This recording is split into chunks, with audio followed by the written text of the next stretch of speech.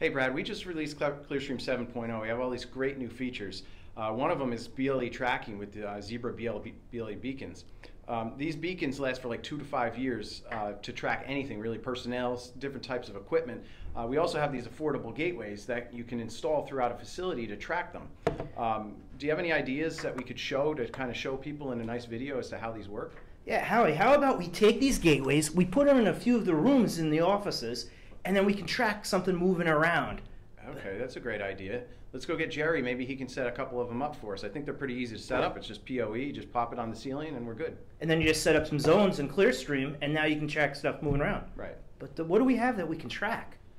Yeah, I don't know. I mean, in the real world, it might be things like forklifts or people. What could we track in the office here? I can't think of anything.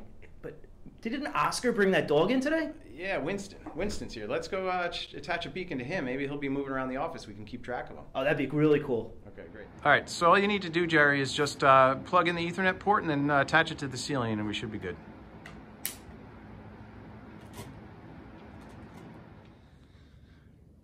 Howie, the setup's really great, but Winston's not moving. Yeah, I don't get it. Jerry set these up throughout the offices. We should be tracking him right now. Uh, maybe, maybe something's wrong. We should go check on him. Yeah, let's go see that dog's alright. Yeah, so Winston's not a good candidate for tracking. Yeah, a dog that doesn't move doesn't really show the zoning that we do that effectively. Right, so I think we got to go find a different candidate to track around these offices here. Let's go see if Kristen will let us use Larry. Larry. Yep. Larry's it. You want to do what with my dog? We just want to track him.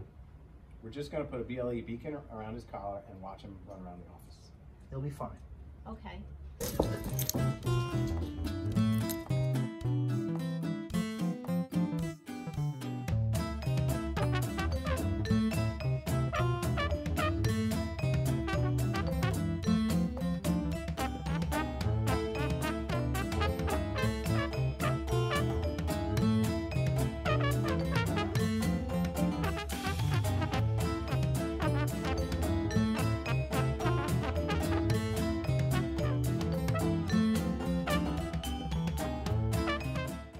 Good job, Larry. You really can move. You really show how BLE tracking technology can track something going around our offices.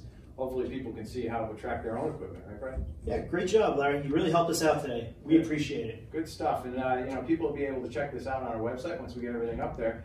Uh, and they can get started at clearstreamrfid.com to demo all of this stuff. And it really only took us an hour to set up uh, to get all this tracking and seeing how quickly or not quickly these dogs move throughout the office. And with beacons on- around $25, $30 each, and gateways, you know, under $200, it it makes perfect sense to set up a system like this. It's a no-brainer for anybody. Well, thanks again, Larry. Thanks, Larry. Mm.